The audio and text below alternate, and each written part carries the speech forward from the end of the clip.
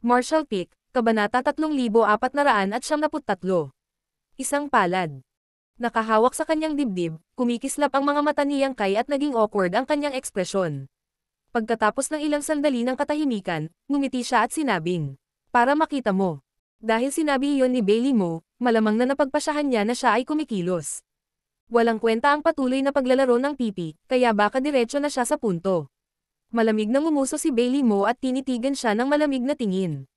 Kung talagang gustong hawakan siya ni Yang Kai dahil sa aphrodisiac, mapapaumanhinan ito. Kung tutusin, pinlano niya ang lahat ngayong araw para dito. Kung magagawa niyang hindi makontrol ni Yang Kai ang kanyang sarili at ang babaeng Demon King dito, ito ay para sa pinakamahusay. Si Yang Kai ang lalaki ng murang babae na iyon na si Yuruming at nagkaroon ng Heart Seal Secret Technique para paghigpitin siya. Maliban kung nasira ang secret technique, hindi mapaghihiwalay ang nararamdaman nilang dalawa. Kung mapapagawa niya ang babaeng Demon King at Yang Kai na ito, tiyak na may ini si Yurumeng.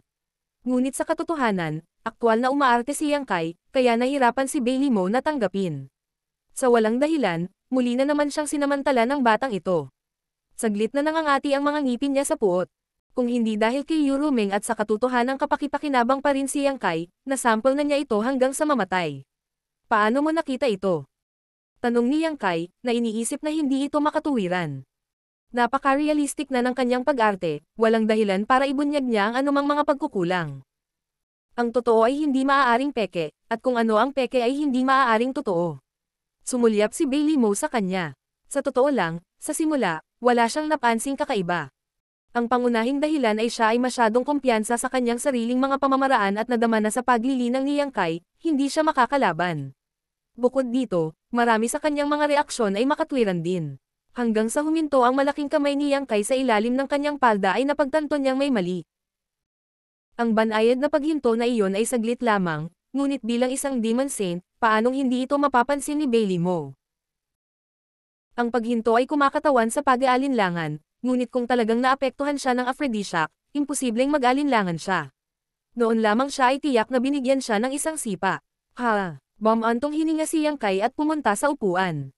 Umupo siyang muli at same time na tumingin kay Bailey Mo. Bakit kailangan mong gawin ito? Kung mayroon kang sama ng loob kay Romeng, maaari mo itong ayusin sa iyong sarili. Bakit kailangan mo akong idamay? Inosente ako. Hindi alam ni Bailey Mo kung tatawa o iiyak. Sa tingin mo ba inosente ka? Sinabi niyang kay na may malungkot na mukha. Hindi ba? Bagamat alam niyang wala talaga itong magagawa sa kanya, ayaw niyang kay na gawing masyadong matigas ang kanilang relasyon dahil kailangan niyang magtrabaho sandali sa teritoryo nito. Ngumisi si Bailey Mo. Kung hindi ka lalaki ni Yurumeng, baka hindi ka inilagay ng Saint Master na ito sa kanyang mga mata. Pero sinong nagsabi sa iyo na lalaki ka ng murang babae na iyon? Nagdilim ang mukha ni Yang Kai at sinabi niya, ang Saint Master ang pinakamakapangyarihang nilalang sa Demon Territory. Paano ka magiging bastos? Nagtaas ng kilay si Bailey Mo.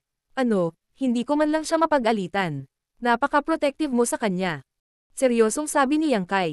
Ang Saint Master ay babae rin. Kung may manginsulto sa Saint Master ng ganito, ano kaya ang mararamdaman ng Saint Master? Ngumisi si Bailey mo. Sa tingin mo ba ay hindi ako pinagalitan ng murang babae na iyon sa likod ko? Wala akong pakialam kung pinagalitan ka ni Romeng sa pagtalikod mo, pero sa harap ko, mangyaring kumilos ang iyong sarili.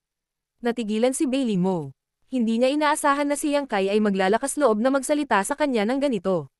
Ngunit pagkatapos ay naisip niya kung paano pa siya nito gustong molstiyahin. Ito ang lakas ng loob ng tao ay nabasag na sa langit. Paano kung may sinabi siya? Malamig siyang ngumuso. E ano kung pagagalitin kita? Tumayo si Yang Kai at pinitik ang kanyang manggas. Kung hindi tayo sumang-ayon, patawarin mo ang haring ito sa hindi mo nagawang tulungan sa Realm Gate. Dapat maghanap ng iba ang Saint Master. Pagkasabi nito ay tumalikod na siya at naglakad palayo. Kung maglakas loob kang kumilos muli, babuliin ng Saint Master ito ang iyong mga paa. Ako ay isang tao ng aking salita. Malamig na tiningnan ni Bailey Mo ang likod ni Yang Kai. Agad na natigilan si Yang Kai sa kinauupuan habang nasa ere ang isang paa. Wala talaga siyang lakas ng loob na gumalaw. Hindi niya maiwasang isumpa si Bailey Mo sa kanyang puso. Malinaw na inimbitahan siya nito na ayusin ang Realm Gate. Paano ito nangyari? Napaka hindi makatwiran talaga ng babaeng ito. Ngunit alam din niyang kay na hindi siya makakatwiran sa kanya. Ang kamao nito ay hindi kasing laki ng kamao niya. Humiga muli si Bailey Mo at nakangiting tumingin sa likod nito. Hindi masama, hindi masama. Binata, ikaw ay napakabait. Anong gusto mo? Sabihin sa akin ang katotohanan. Inamin ng haring ito ang pagkatalo. Itinagilid ni Yang Kai ang kanyang ulo, ang kanyang mukha ay puno ng kalungkutan at galit. Kung alam niyang mangyayari ito, hindi na sana siya pupunta sa kalokohang Proud Snow Continent na ito. Kung gusto niyang pumunta sa Eternal Heaven Continent, hindi na niya kailangang dumaan sa teritoryo ni Bailey Mo. Maaari siyang pumasok mula sa ibang mga teritoryo ng Demon Saint. Hindi naman sa may gusto akong gawin, pero mali ang ginawa mo. Gusto mo bang lumayo na lang ng ganito? Huminga ng malalim si Yang Kai at mahinang sinabi. Kanina lang naging bastos ako. Patawarin mo ako, Master Saint. Hindi ko na uulitin. Gusto mo ulitin. Malamig na bam antong hininga si Bailey mo. At saka, wala akong narinig na kahit kay na sinseridad sa iyong paghingi ng tawad. Kung ganoon, anong klaseng sinseridad ang gusto mo? Lumingon si Yang Kai at tumingin sa kanya. Tumingin sa kanya si Bailey Mo saglit, pagkatapos ay ngumuso ng kanyang mga labi. Napakurap si Yang Kai, baka sa mukha niya ang pagdududa. Nang makita niyang muli itong nakanguso sa kanyang mga labi, nag-aatubili siyang humakbang pasulong, ibinaba ang kanyang katawan, at idinikit ang kanyang tainga sa kanya. Kinagat ni Bailey Mo ang kanyang mga ngipin at sinabing, Anong ginagawa mo? Tumangala siyang kay sa kanya at sinabing may seryosong mukha. Gusto mo bang bamulong sa akin? Halos tumawa ng malakas si Bailey Mo. Kung talagang may gusto siyang ibulong, sapat na ang Divine Sense Transmission. Bakit kailangan niyang dumaan sa napakaraming problema? Napatakip siya ng ngipin at sinabing, Lumuhad ka sa harap nitong Saint Master at humingi ng tawad. Hahayaan ka ng Saint Master na ito sa pagkakataong ito. Agad na nanlamig ang mukha ni Yang Kai. Dahan-daang itinuwid ang kanyang likod, tumingin siya sa kanya at sinabi na may malamig na ekspresyon. Saint Master, magpapanggap akong hindi ko narinig ang sinabi mo. Pagkatapos tinuyam niya ang mga kamay niya at sinabing, Yang Kai, aalis muna ako. Sobra-sobra talaga ang kahilingan ng babaeng ito nadama niyang kay na hindi na kailangang ipagpatuloy ang pakikipag-usap sa kanya. Sa pagkakataong ito, determinado siyang umalis sa Proud Snow Continent. Kahit na kailanganin niyang tuluyang mahulog kay Bailey Mo, hindi siya magdadalawang isip. Talagang wala siyang kapangyarihan na labanan ang kapangyarihan ng Demon Saint. Kahit na mayroon siyang Space Divine Technique, mahihirapan siyang mabuhay. Ngunit kahit na siya ay namatay sa labanan, ito ay mas mabuti kaysa sa kompromiso tulad nito. Pagkasabi noon ay tumalikod na siya at naglakad palabas. Kung bantaan na naman siya ni Bailey Mo, tamad siyang mag-alala. Sa pinakamasama, magkakaroon siya ng malaking laban. Mapagpas siya ang kanyang mga galaw. Hanggang sa malapit na siyang makalabas ng pinto ay nag-react si Bailey Mo at malamig na sinabi. Nililigawan mo si kamatayan. Nagbingi-bingihan si Yang Kai at binaliwala lang siya, inabot ang kamay para buksan ang bid curtain. Ngunit sa sumunod na sandali, isang malakas na demonic chi ang biglang umatake sa kanya mula sa likuran. Mabilis na tumalikod si Yang Kai at itinulak ang kanyang Emperor Chi, pinagkrus ang kanyang mga braso sa kanyang harapan upang protektahan ang kanyang sarili. Pagkatapos, ang kanyang ekspresyon ay nagbago ng husto at ang kanyang buong katawan ay pinalipad.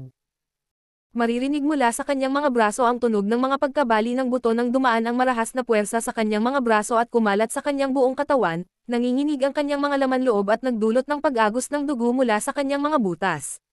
Sa kalagitnaan ng hangin, mabilis na lumabo ang kamalayan ni Yang Kai. Sa pagkatulala, nakita niyang bahagyang itinaas ni Bailey Mo ang kanyang kamay at bakas sa mga mata nito ang pagtataka. Bumagsak sa lupa, nagdilim ang kanyang paningin.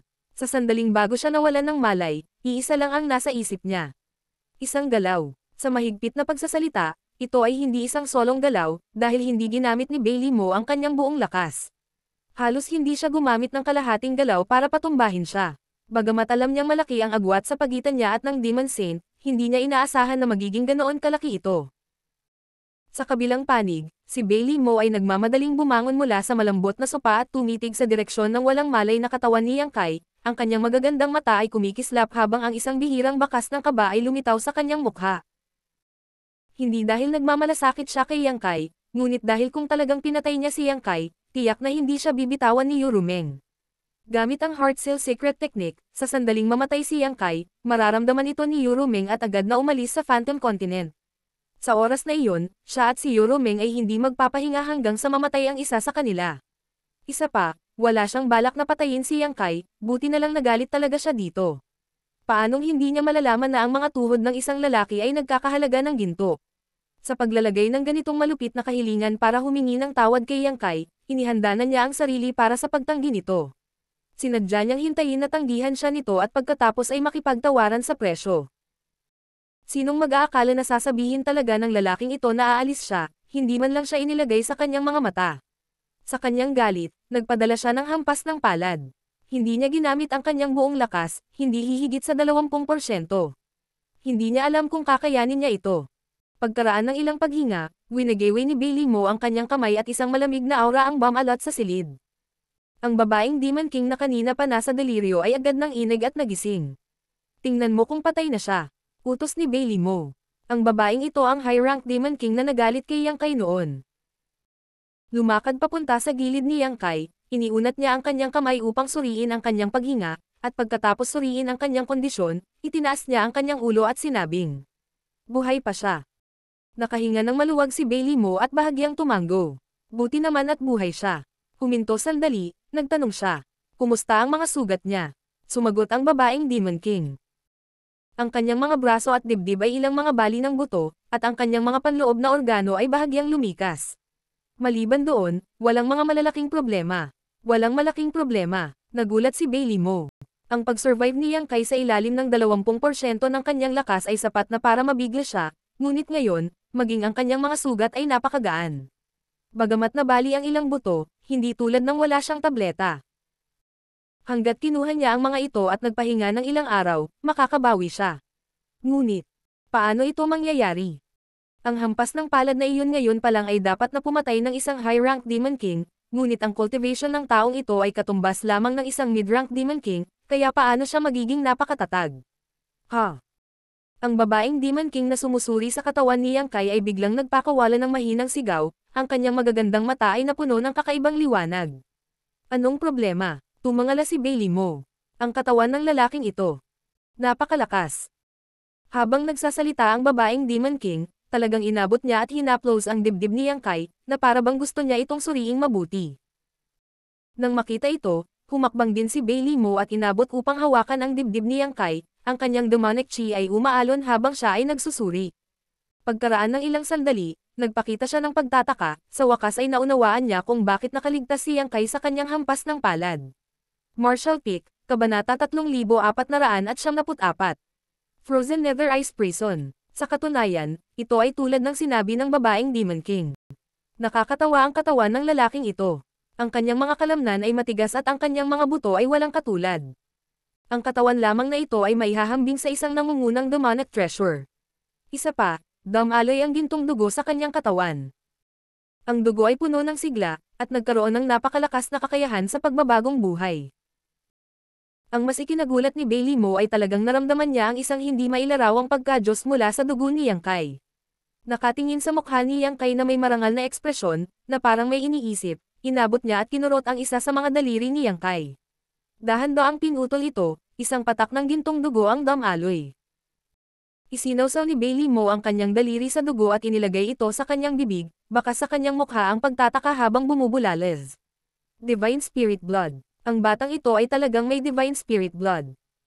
Bukod dito, mula sa lasa ng dugong ito at sa enerhiyang taglay nito, ito ay isang napakataas na antas ng divine spirit. Maaaring ito ay isang dragon o phoenix. Hindi napigilan ni Bailey Mo ang kanyang dila sa pagtataka. Pero ngayon, lubusang gamaan ang loob niya. Dahil ang dugo ni Yang Kai ay may napakalakas na sigla at regenerative na kakayahan, nangangahulugan ito na ang pinsalang ito ay talagang hindi malaking bagay sa kanya. Kahit na hindi siya umiinom ng kahit anong pills, hindi rin magtatagal bago siya gumaling. Saint Master, masyadong bastos ang batang ito. Gusto mo bang patayin siya ng subordinate na ito?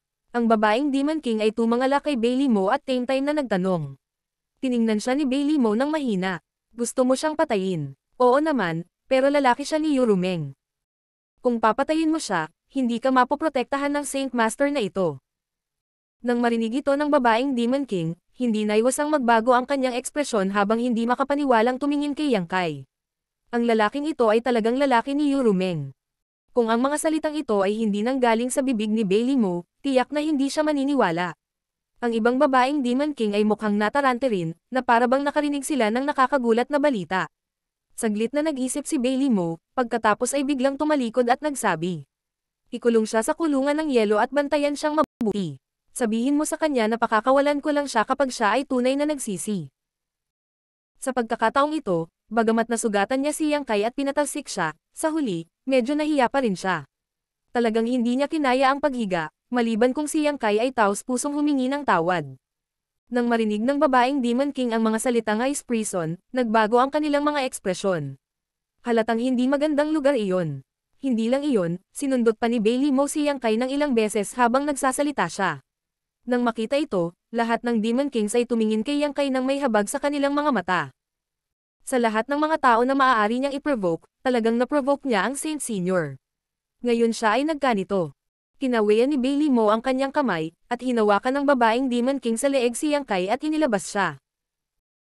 Sampung milya ang layo mula sa Proud Snow Ice Palace, ang Yin, Tushiro, at Baze ay nakatingin sa direksyon ng Ice Palace. Ang eksena ni Baiya na nagmamadaling lumabas at umalis ay nagparamdam sa kanila ng kaunting kakaiba. Hindi nila alam kung ano ang nangyari kay Yang Kai sa Ice Palace, ngunit ngayon ay wala na silang magagawa. Kahit na higit sa 10,000 tao ang marami, walang sino man ang may lakas ng loob na pumasok sa Proud Snow Ice Palace. Ngayon, isa hanggang dalawa oras na roon si Yang Kai, ngunit hindi pa rin siya bumabalik. Gayunpaman, natitiyak nila na hindi nanganganib ang kanyang buhay. Kung hindi, si Natushiro at Baze ay namatay ng walang pag-aalinlangan. Pagkatapos ng lahat, ang kanilang buhay ay nakatali na ngayon kay Yang Kai. Kung naaksidente si Yang Kai, hindi sila makakatakas. Sa kaibahan, bagaman nag-aalala si Yin, mas kalmado pa rin siya. Sa sandaling ito, biglang napagtanto ng lahat na ang isang malaking grupo ng mga tao ay sumugod palabas ng palasyo ng yelo at agresibong sumusugod sa kanila. Ang babaeng Demon Kings na nangunguna ay pawang high-rank Demon Kings. Ang bawat isa sa kanila ay nakasakay sa iba't ibang uri ng Demon Beast, at nakasuot sila ng maliwanag na baluti, mukhang maharlika at kahanga-hanga. At sa likod ng babaeng Demon King na ito, libu-libong miyembro ng Demon Race ang lumabas din. Dahil sa eksenang ito, medyo nabahala ang mga tao sa ilalim ni Yang Kai. Maging si Nayin, Tushiro, at Baze ay nagbago. Bagamat hindi sila nagtrabaho sa ilalim ni Bailey Mo, alam nilang mayroon siyang grupo ng mga elite na tinatawag na Proud Snow Ice Guards. Bawat isa sa kanila ay isang elite ng Demon Race. Nilagyan sila ng mahusay na kagamitan at nagsanay ng napaka-espesyal na mga diskarte. Kapag lumabas na sila, karaniwan na para sa kanila na lumaban sa tatlo o limang tao sa parehong antas. Kung sila ay nasa forma sayon, maaari pa nilang talunin ang mga kaaway ng sampung beses sa kanilang bilang. Sa pagtingin sa Demon Race na sumugod palabas ng Ice Palace, kitang-kita na sila ang maalamat na Proud Snow Ice Guards. Sa makatuwid, kahit na hindi sila kasing dami ng panig na ito, ang kanilang momentum ay ganap na nadaig ang mga kalyadong puwersa ng Cloud Shadow Blue Plains. Nataranta ang mga tao. Ang grupo ng Proud Snow Ice Guards ay sumugod sa harapan at sabay-sabay na huminto. Sila ay maayos na parang sila ay isa. Bawat miyembro ng Demon Race ay may mapagmataas na hitsura sa kanilang mga mukha. Ang babaeng Demon King na nangunguna ay nagwagayway ng kanyang kamay at sumigaw. Palibutan sila. Sa ilalim ng utos, libu-libong tao ang kumalat at pinalibutan sila. Wala pang sampung paghinga, napalibutan na nila ang libu-libong tao sa gitna. Sandali ng buhay at kamatayan, si Yin at ang iba pa ay hindi maiwasang matens. Nang wala ang kanilang utos, ang sampu-sampung libong miyembro ng Demon Race ay tumalikod na para harapin ang mga taong nakapaligid sa kanila. Lahat sila ay tumingin solemn na. Malapit nang sumiklab ang labanan ng buhay at kamatayan. Hindi napigilan ni Tushiro at ng iba pang Demon Kings na malunok ang kanilang laway. Alam nila na kapag nagsimula ang labanan ngayon, ang kanilang sampung libong tao ay ililibing lahat dito. Ano ang ginawa ng kanilang hari sa Ice Palace? Paano niya na-provoke ang Proud Snow Ice Guards? Buti na lang, bagamat pinalibutan sila ng Proud Snow Ice Guards, wala silang balak na umatake. Parang kinukulong lang sila dito. Pagkaraan ng ilang sandali, nang makitang wala pa rin silang balak na salakayin sila, medyo gamaan ang pakiramdam ni Tushiro. Alam niya na kahit na talagang nasaktan niyang kay si Bailey Mo, dapat may puwang para sa negosasyon. Matapos magmuni-muni ng ilang sandali, itinabi niya ang kanyang mga nasasakupan sa harapan niya at humakbang pasulong. Pinisil niya ang isang ngiti at ikinulong ang kanyang mga kamay. Master, pagbati, ako si Lan Yuan. Kakasabi pa lang niya ng ilang salita nang biglang may hamampos sa kanya. May mahinang tunog ng hangin at kulog sa latigo, at ito ay walang kapantay na mabilis. Nagbago ang mukha ni Tushiro. Siya ay likas na hinimok ang kanyang demon chi na lumaban, ngunit siya ay nagngangalit ng kanyang mga ngipin at hindi lumaban. Sa isang mahinang sampal ay dama po ang malambot na latigo sa kanyang mukha, nag-iwan ng bakas sa kanyang pisngi na tumutulo ng dugo. Ang babaeng Demon King na nangunguna ay umupo sa kanyang bundok at tumingin sa kanya mula sa itaas. Malamig niyang sinabi. Walang gustong malaman kung sino ka. Manatili ka sa kinaroroonan mo ng masunurin. Kung maglakas loob kang kumilos ng padalos-dalos, papatayin ka ng walang awa. Naging berde at puti ang mukha ni Tushiro. Naikuyom niya ang kanyang mga kamao. Siya ay isang high-rank Demon King. Kailan pa siya nakaranas ng ganitong kahihiyan? Ngunit ang kabilang partido ay mula sa Proud Snow Ice Guard, kaya wala siyang magawa sa kanila. Isang beses lang niya itong hinampez. Ang pagkawala ng mukha ay mas mabuti kaysa sa pagkawala ng kanyang buhay. Ngunit sa ganitong paraan, natitiyak niyang ang grupong ito ng Proud Snow Ice Guards ay walang intensyon na salakayin sila pansamantala. Ang bagay na nasa harap nila ay tiyak na nauugnay kay Yang Kai. Nakulong ba sila dito para pigilan ang isang tao na mag-leak ng impormasyon? Sumimangot si Tushiro at hindi maintindihan. Sa kabilang banda, hindi maiwasan ni Sound na lumingon kay Xiaowo. Kung may sino mang makakatulong sa kanila sa mahirap na sitwasyong ito, ito ay si Xiaowo. Noong huling pagkakataon, ang kaluluwa ni Euromeng ay bumaba kay Xiaowo. Sa pagkakataong ito, natural na niyang magagawa rin iyon. Sa oras na iyon, kahit na ito ay isang tipak lamang ng kaluluwa ni Euromeng, itong Proud Snow Ice Guards ay hindi maglalakas loob na kumilos ng padalos-dalos na parang nararamdaman ang kanyang titig, tumingin din si Xiao Wu sa kanya, at pagkatapos ay dahan-dahang umiling. Nagdilim ang mga mata ng tunog. Alam niya na kahit ang Saint Master ay hindi basta-basta magagamit ang Soul Descent. Noong nakaraang pagkakataon, na-provoke siya ng Chini Bailey Mo, kaya naman siya nagpakita. Sa pagkakataong ito, walang panganib sa ngayon, kaya malayong matrigger niya ang Soul Descent. Sa ilalim ng Proud Snow Ice Palace, mayroong isang Cold Ice Prison na may kabuoang labing walong palapag. Ang kapaligiran ng bawat palapag ay mas masama kaysa sa nauna. Sa pinakamalalim na labing walong palapag, kahit ang isang Demon King level expert ay hindi maaaring manatili ng matagal. Ang lamig na pumuno sa hangin ay sapat na upang palamigan ang kaluluwa ng isang tao at maging sanhi ng kanilang kamatayan sa isang hindi likas na kamatayan.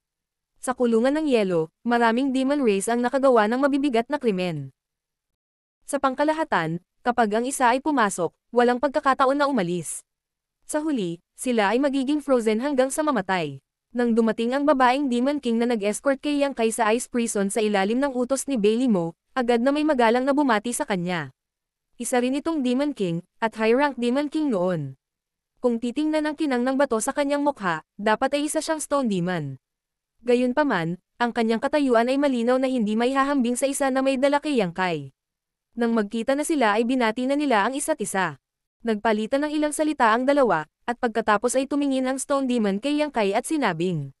Isa pa, ano ang ginawa ng isang ito na mali? Na-offend niya ang Saint Master. Niyugyug ng babaeng Demon King si Yang Kai. Ngumisi ang Stone Demon. May lakas ng loob ka. Maingat niyang tiningnan si Yang Kai at biglang sinabing nagulat. Ang lalaking ito. Siya ay tao. Natural na alam ng babaeng Demon King ang gusto niyang itanong. Tao talaga siya. Nagtaas ng kilay ang Stone Demon at nagpakita ng curious na tingin. Hindi pa siya nakakita ng tao noon, kaya sa mga oras na ito, natural na mausisa siya. Pagkaraan ng ilang sandali ay napagmasdan niya na ang lahi ng tao ay ganito. Wala na silang mata o kamay kaysa sa demon race. Agad siyang nawala ng interes at sinabi. Ano ang ibig sabihin ng Saint Master? Gusto mo ba siyang mamatay ng mabilis o dahan-dahan? Kung mabilis siyang mamatay, diretso siyang itatapon sa ibabang palapag ng kulungan ng yelo. Wala pang isang araw, mapapalamig siya hanggang mamatay. Kung dahan-dahan siyang pahihirapan, itatapon siya sa gitnang palapag at magagawang upang mabuhay ng ilang sandali. Hindi maaaring mamatay ang isang ito. Umiling ang babaeng Demon King. Siya ay lubhang kapakipakinabang sa Saint Master. Natigilan ang Stone Demon. Sa loob ng maraming taon, wala ni isa sa Demon Race itinapon sa kulungan ng yelo ay nakaligtas. Paanong hindi mamatay ang isang ito? Gayunpaman, dahil ito ang utos ng Saint Master, natural na kailangan niyang sumunod. Sinabi niya, ano ang antas ng kanyang paglilinang? Mid-rank Demon King. Ang kanyang katawan ay napakalakas, ngunit ang kanyang cultivation level ay nasil ng Saint Master. Ang kanyang cultivation level ay seliado na. Ang Stone Demon ay tumingin kay Yang Kai na may kaunting simpatiya. Hindi niya talaga alam kung paano niya nasaktan ang Saint Master. Hindi lamang siya itinapon sa bilangguan ng yelo, ngunit ang kanyang antas ng paglilinang ay nabuklod din. Saglit siyang nag-isip at sinabing, 7th floor, sa estado niya ngayon, hindi na niya ito kakayanin. Maaari mong ayusin ito ayon sa nakikita mong akma. Ibinigay ng Demon King si Yang Kai sa kabilang panig at sinabi. Sinabi ng Saint Master na kapag nagising siya, sabihin sa kanya na palalayain lamang siya ng Saint Master kapag seryoso siyang nagsisi. Marshall Pick, Kabanata 3475 Gumagawa ng mabuti. Isang malamig na sensasyon ang sumalubong sa kanya mula sa lahat ng direksyon, dahilan upang dahan-dahang magising si Yang Kai. Pagkaraan ng ilang saglit na pagtitig sa paligid, bigla niyang naalala ang eksena bago siya nawalan ng malay at mabilis na tumalon, sa pag-aakalang defensive posture siya habang binabantayan ang paligid. Nagulat siya sa nakita niya. Hindi na ito ang kwarto ni Bailey Mo. Sa halip, ito ay mas mukhang isang silid ng yelo. Ang mga dingding ng yelo ay kumikinang at naaninag. Napakaliwanag nito na naaaninag ang refleksyon ng isa. Ito ay halos ilang talampakan kwadrado, at mas mukhang isang selda ng bilangguan. Ang lamig ay tumagos sa kanyang mga buto, na naging sanhi ng paglitaw ng goosebump sa kanyang buong katawan. Napakunot ang noo ni Yang Kai, iniisip kung anong uri ng sumpa na lugar ito. Ang kanyang alaala ay nananatili pa rin sa sandaling siya ay nawalan ng malay sa pamamagitan ng palad ni Bailey Mo. Kung ano ang nangyari pagkatapos noon, hindi niya alam. Ngayong naisip niya ito, nakaramdam pa rin siya ng matinding takot. Ang kapangyarihan ng Demon Saint ay talagang hindi niya kayang labanan. Hihihi, gising ka na. Biglang isang malalim at nakakatakot na tawa ang nagmula sa kanyang likuran.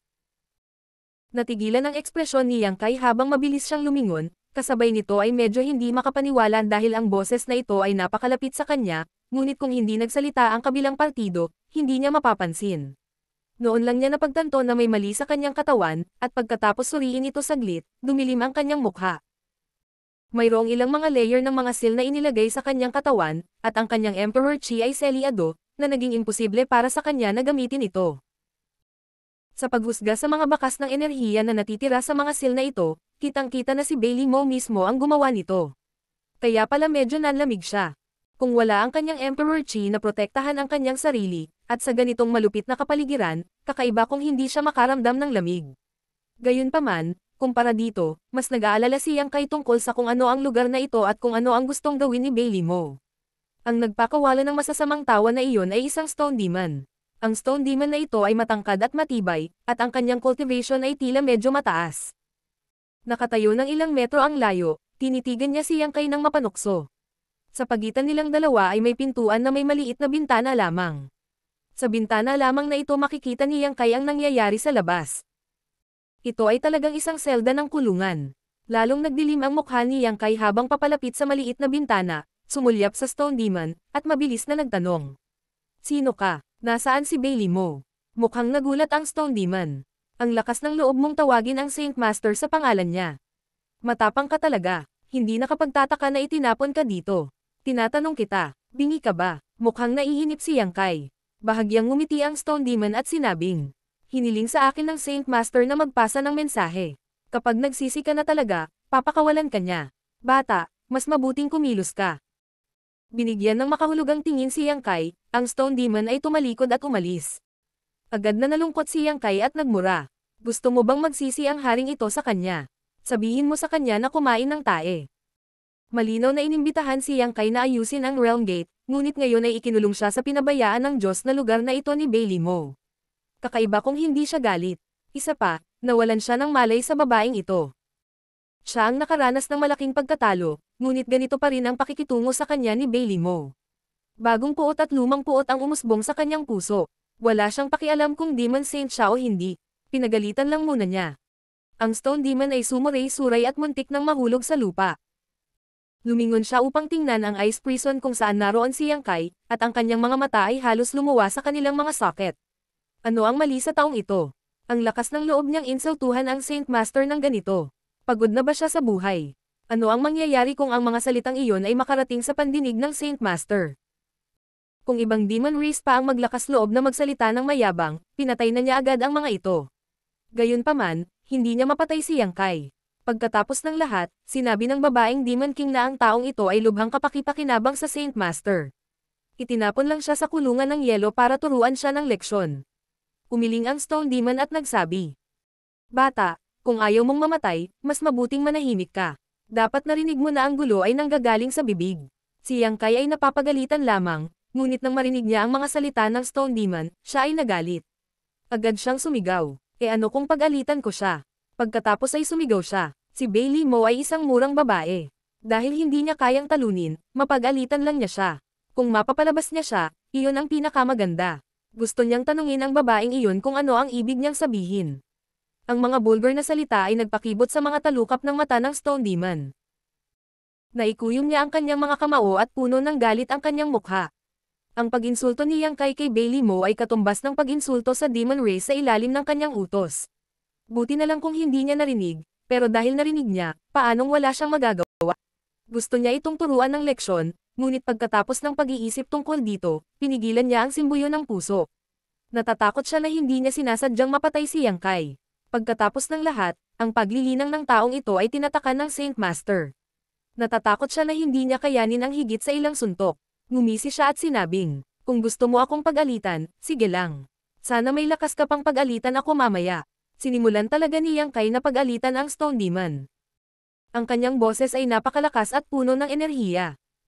Paulit-ulit na lumalabas sa kanyang bibig ang mga maalay at mapang insultong salita, na walang katapusang umalingaw-ngaw sa ikapitong palapag ng kulungan ng yelo. Sa ikapitong palapag, hindi lang siya ang taga-demon race mayroong hindi bababa sa isang daan sa kanila. Nang biglang may narinig silang samaway kay Bailey Mo, nagulat silang lahat.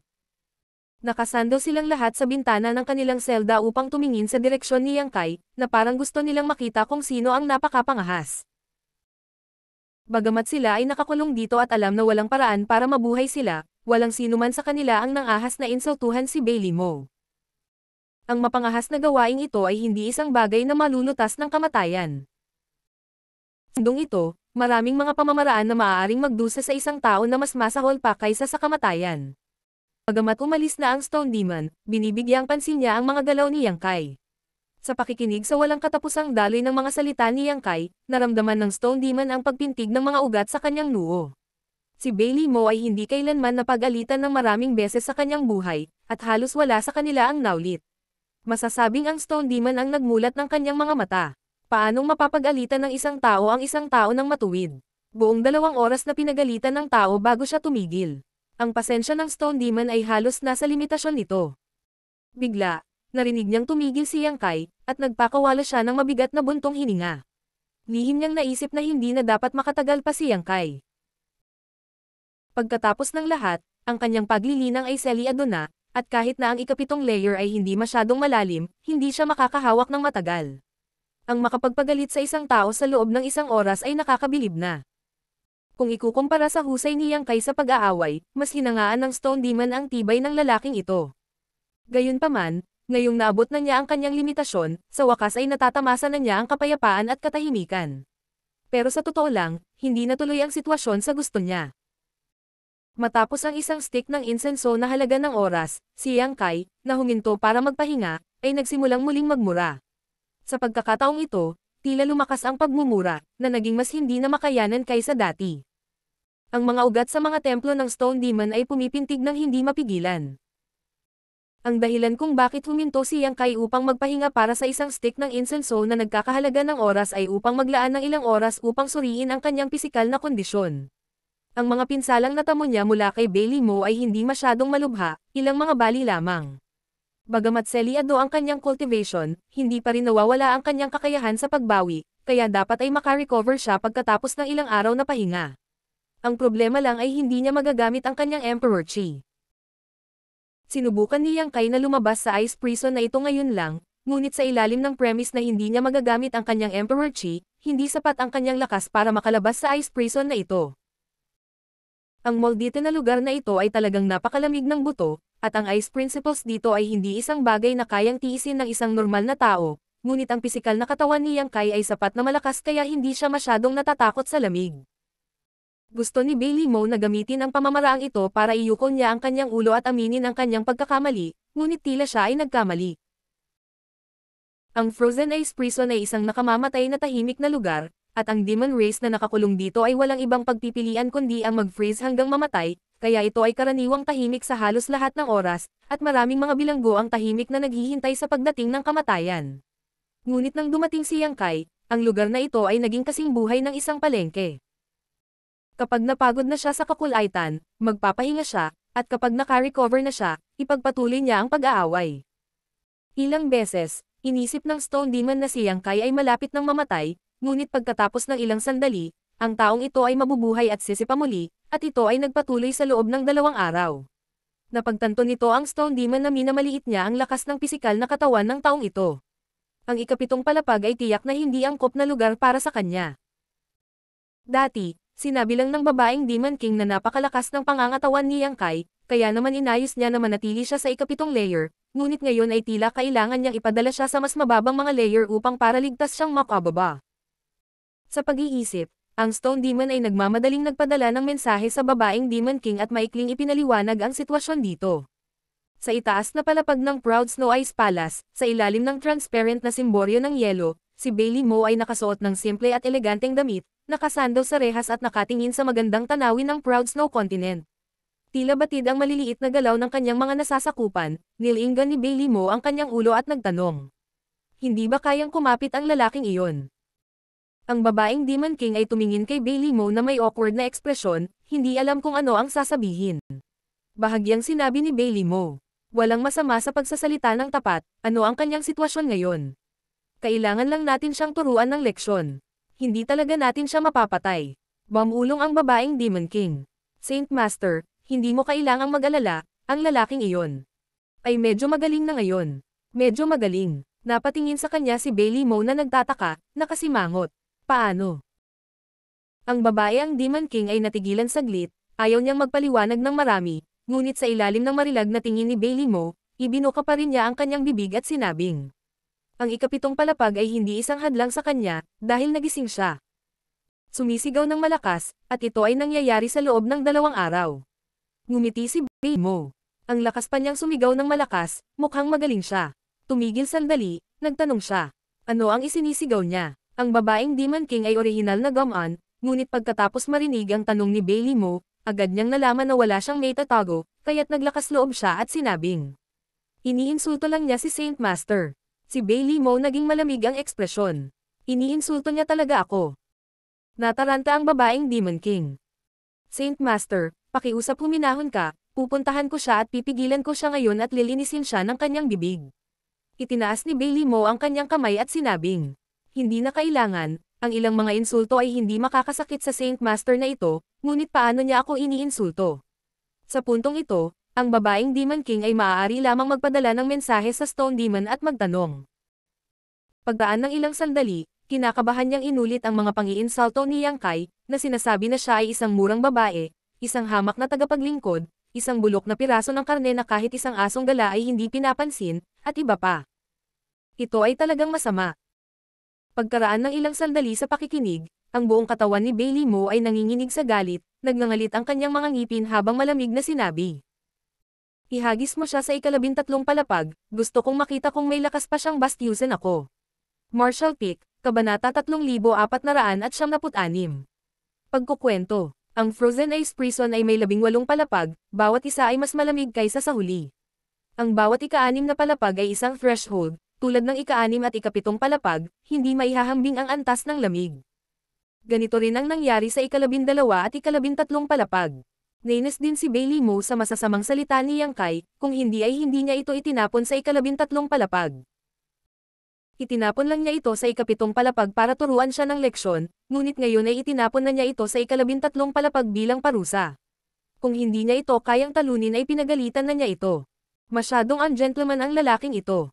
Sampung paghinga pagkatapos maibigay ang utos na ito, dumating ang Stone Demon sa harap ng selda ng yelo kung nasaan si Yang Kai at tumingin sa kanya sa bintana na may habag. Pinunasan ni Yang Kai ang kanyang bibig at tiningnan ang golem gamit ang kanyang ilong. Anong ginagawa mo? Umiling ang golem at bumuntong hininga, hindi nag-abala pang magsalita, kumuha lang ng token at binuksan ang mga restriction ng Frozen Ice Prison, binuksan ang pinto at bumaling kay Yang Kai. Ngumisi si Yang Kai. Gusto akong makita ng murang babae na iyon. Sabihin sa kanya na dalhin ang kanyang asno dito.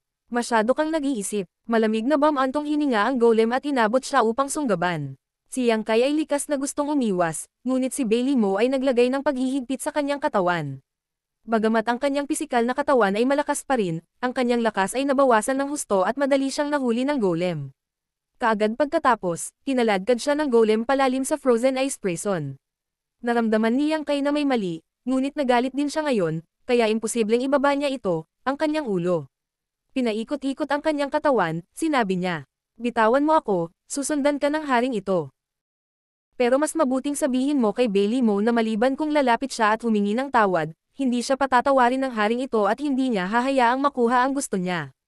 Ang golem ay bamantong hininga ng dalawang beses, ganap na hindi pinansin. Hindi nagtagal, isang hagdanan ang lumitaw sa kanyang harapan, na dinala siya sa susunod na palapag. Nang walang tigil, nagpatuloy siya sa pagbaba. Pagkatapos ay natuklasan ni Yang Kai na ang frozen ice prison na ito ay hindi lamang may isang palapag, ngunit marami, bawat isa ay mas malupit kaysa sa huli. Naunawaan niya na ang mga pang-iinsulto niya ngayon ay tiyak na umabot sa pandinig ni Bailey Mo, kung hindi, hindi siya may lilipat sa pinakamalalim na bahagi ng frozen ice prison. Ito ay nasa loob ng dahilan. Dahil gusto ni Bailey Mo na ayusin niya ang Realm Gate, tiyak na pagtutuunan niya ng pansin ang mga galaw nito. Hindi niya talaga gustong mamatay siya. Pagkatapos maglakad pababa ng anim na palapag, sa wakas ay kinaladkad ng stone golem si Yang Kai sa isang kulungan ng yelo. Pagkahagis sa kanya, isinara nito ang pinto at umalis. Si Yang Kai ay nanginginig sa lamig. Mas malamig ang lugar na ito kaysa sa lugar na napuntahan niya noon. Bagamat may kaunting ginaw noon, madali niyang nalabanan ito gamit ang makapangyarihang pangangatawan, ngunit may epekto ang patong na ito. Sa ilang sandali lang, naramdaman niyang kay na bumagal ng husto ang daloy ng kanyang dugo. Ang omnipresent ice principles ay parang di nakikitang mga lason, na patuloy na naninira sa kanyang katawan at tumatagos sa kanyang limang viscera at anim na organo sa pamamagitan ng kanyang mga pores. Tumalon siya saglit sa kinatatayuan, ngunit hindi nito nabawasan ang lamig man lang. Galit na galit si Yang Kai. Sumugod siya sa bintana at nagmura sa labas. Ang pananatili dito na parang tulala ay lalo lang siyang magpapalamig. Ang pagmumura ng ilang salita ay maaaring makapagpaginhawa sa kanya, marahil ay makapag-init siya. Nang makita ito, ang Stone Demon na nagbabantay sa kulungan ng yelo ay medyo natahimik. Naisip niya sa sarili niya na bagay talaga ang taong ito. Maging ang ikalabintatlong layer ay hindi siya makakaiimak. Anong klaseng awa yan ang mayroon siya sa Saint Master? Kaya lang hindi niya alam kung gaano katagal ang taong ito. Ang ikalabintatlong layer at ang ikapitong layer ay nasa ganap na magkaibang antas. Tinansya ng Stone Demon na si Yang Kai ay maubos sa loob ng dalawang araw. Sa oras na iyon, natural na wala siyang lakas para ipagpatuloy ang pagmumura. Sa katunayan, ang tiyaga at tiyaga ni Yang Kai ay lampas sa kanyang imahinasyon. O sa halip, ang Saint Master ay seryosong minamaliit ang lakas ng katawan ng taong ito. Pagkatapos ng buong tatlong araw, nagmumura pa rin si Yang Kai. Bagamat magmumura lang siya saglit at pagkatapos ay magpapahinga, hindi ka panipaniwala na kaya niyang magtagal ng ganito. Sa tatlong araw na ito, Halos araw-araw ay nagtatanong ang Saint Master tungkol sa sitwasyon ng taong ito. Wala siyang may tago, kaya't ang katotohanan lamang ang naiulat niya. Nahulaan niya na malamang nagalit na galit ang Saint Master. Ramdam niya ito sa tono ng babaeng Demon King na nagpasa ng mensahe. Sa araw na ito, ibinuko lang niyang kay ang kanyang bibig para magmura sandali.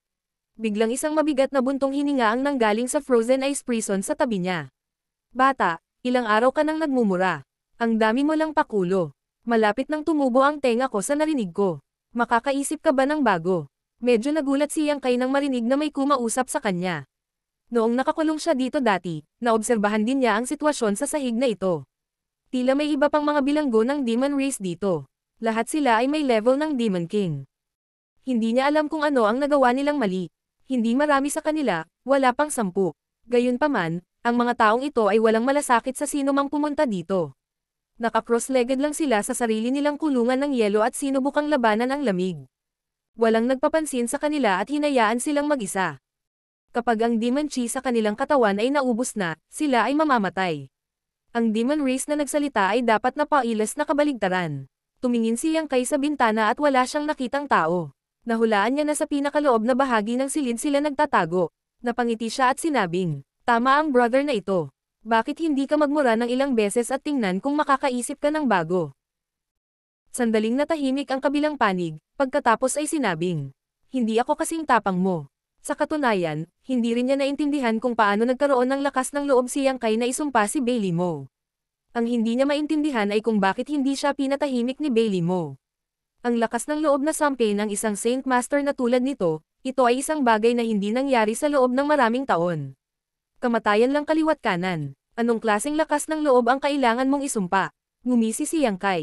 Sinabi ng Demon King. Maraming paraan para mamatay. Ayokong pahirapan bago ako mamatay. Biglang nagsalita ang isa pang Demon King sa kabilang side.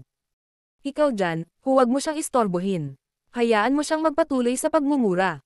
Tama, tama na. Bihira lang ang maldita na lugar na ito na napakasigla. Sino ang nagmamalasakit kung mayroon siyang anumang mga bagong ideya? Pretuhin mo lang ito bilang kasiyahan. Bata, ituloy mo lang ang pagmumura. Huwag mo na siyang pansinin. Natigilan si Yang Kai sa mga boses na nagmumula sa lahat ng direksyon. Hindi niya inaasahan na magkakaroon siya ng audience para sa kanyang pagmumura. Hindi niya alam kung matatawa ba siya o maiiyak. Hayaang isumpa ng mga Demon Kings na ito na nakakulong si Bailey Mo, wala talaga silang lakas ng loob na gawin iyon. Ngunit walang masama sa pakikinig. Bata, huwag kang tumigil. Ang makarinig sa iyo ng pagmumura ng ganito bago ako mamatay ay nakakagaan ng loob sa akin. Hinimok siya ng isa pang tao. Hinaplos niyang kay ang kanyang baba at mahinang umiti. Dahil lahat ay sumusuporta, magpalat tayo ng bago. Inayos ang kanyang mga salita, bahagyang umubo si Yang Kai at nagsabi. Sinasabi na sa Demon Territory, sa Proud Snow Continent, mayroong isang mahirap na pamilya na nagsilang ng isang anak na babae na nagngangalang Bailey Mo. Ang Bailey Mo na ito ay matalino mula sa samurang edad. Sa murang edad, maganda na siya. Sa ilalim ng transparent na simboryo ng yelo, nakaupo si Bailey Mo sa windowsill, nakasuot ng transparent na chiffon dress. Ang kanyang dalawang snow white na binti ay nakalawit sa gilid ng bangin. Ang kanyang buhok ay nililipad ng hangin, at ang kanyang katawan ay nakasando sa bintana, na parang anumang oras ay lilipad ng hangin. Malabo ang kanyang mga mata habang nakatingin sa puting nyebeng mundo sa kanyang harapan. Ang kanyang payat na kamay ay may hawak na isang tasa ng dark red blood wine, at humigop siya ng mahina, dahilan upang ang kanyang mapupulang labi na malakristal at translucent na parang mga hiyas ay magkaroon ng bakas ng pulang kulay ng dugo, na naging dahilan upang siya ay magmukhang mas kaakit-akit at kaakit-akit. Bahagya niyang iniling ang ulo at nagtanong sa mahinang boses. Kamusta na ang lalaking iyon? Nang marinig ito ng babaeng Demon King na nagdala kay Yang Kai sa Ice Prison, kumunot ang gilid ng kanyang mga mata, at bamulong. Napakagaling. Sumimangot si Bailey Mo. Napakagaling. Ang parehong sagot ay ibinigay sa huling pagkakataon. Ang sabi ng babaeng Demon King. Mukhang minaliit ng subordinate na ito ang lakas ng kanyang katawan. Bagamat hindi na kasing ganda ng dati ang kanyang kalagayan, hindi dapat nasa panganib ang kanyang buhay pansamantala. Minumura niya pa ba ako? Mahinahong tanong ni Bailey Mo. Ang babaeng Demon King ay nagmamadaling umiling. Hindi, nagulat si Bailey Mo. Hindi, wala ba siyang lakas para isumpa ako, o wala siyang lakas para isumpa ako? Huminto siya saglit bago nagpatuloy. Sa totoo lang, bakit ko ibababa ang sarili ko sa level ng isang baliw na aso? Eto na, nang malaman niyang minumura siya ni Yang Kai, medyo nagalit siya. Ngunit pagkatapos ng pag-iisip tungkol dito, nadama niya na hindi na kailangang gawin iyon. Ilang sumpa lang iyon, at gaya ng sinabi niya noon, wala siyang mawawala. Sa karamihan, tuturuan niya siya ng leksyon sa hinaharap. Talagang hindi niya ako sinumpa. Mukhang napahiya ang babaeng Demon King. Pero nagkwento siya kamakailan. Tumawa si Bailey Mo. Mga kwento. Anong mga kwento? Kanino? Hindi siya naglakas loob na isipin ang ganoong eksena. Anong klaseng kwento ang kinukwento niya sa kulungan ng yelong iyon? Nakakatuwa talaga ang taong ito. Ito ay isang kwento na siya mismo ang gumawa. Hindi mo ito dapat pakinggan, baka dumihan ang iyong tenga. Ang puso ni Bailey Mo ay kasing linaw ng salamin. She coldly snorted. Gumagawa ba siya ng kwento tungkol sa akin? Sabihin mo sa akin, ano ba talaga ang ginawa niya sa akin sa kwentong iyon? Napabuntong hininga ang babaeng Demon King sa kanyang puso. Bagamat ayaw niyang magkwento, tanging sagot lang ang naisagot niya. Ang kwentong ginawa ni Yang Kai ay napakasimple, at napaka-melodramatic pa nga.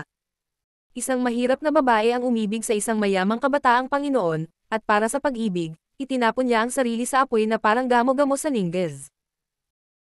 Sa hindi inaasahang pagkakataon, matapos siyang makuha ng mayamang binatang Panginoon, iniwan siya nito na parang sirasirang sapatos. Naduraj ang puso ng dalaga at napadpad sa mundo ng mga mortal, at nanirahan sa isang bahay aliwan. Ang unang bahagi ng kwento ay maikling binanggit, ngunit ang ikalawang bahagi ay napakadetalyado. Nang ang babaeng Demon King ay nagkukwento, ang batang babae na tinatawag na Bailey Mo ay nakatanggap na ng higit sa isang daang mga parokyano, at ang presyo ay napakamura. Ang mga parokyano ay iba-iba rin, at maging ang mga pulubi sa mga lansangan ay mapalad na nakipagrelasyon sa kanya. Sa simula, mahinahon na nakinig si Bailey Mo, Ngunit nang marinig niya na ang pangunahing ang karakter ng kwento ay isang murang babae, dinurog niya ang tasa sa kanyang kamay.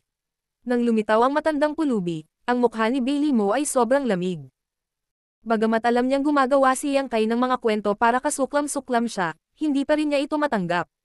Hindi pa siya nakakita ng ganitong kasuklam-suklam na lalaki. Tumalikod siya at bumaba mula sa bintana, ang lamig ng mga mata niya na parang yelo. Tama na. Ang babaeng Demon King ay napaluhod at sinabi sa takot. Saint Master, mangyaring huminahon. Itong subordinate na ito ay pupunta at bubunutin ang kanyang dila. Ngumisi si Bailey Mo. Hindi ba siya masyadong madali? Biglang nagtaas ng ulo ang babaeng Demon King. Pero Saint Master. Ham. Si Bailey Mo ay malamig na tumingin sa kanya, dahilan para mapalunok niya ang kanyang mga salita pabalik sa kanyang tiyan.